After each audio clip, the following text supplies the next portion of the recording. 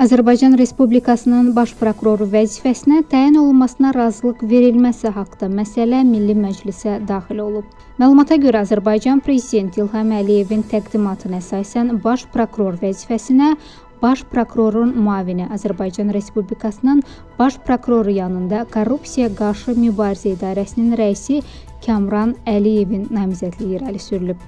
Məsələ yaxın vaxtlarda parlamentin hüquq siyasəti və dövlət quruculuğu komitəsində müzakirəyə çıxarılacaq. Qeyd edək ki, hazırda Azərbaycanın baş prokuroru Zakir Qaralovdur. O 25 aprel 2000-ci ildən bu vəzifəni tutur.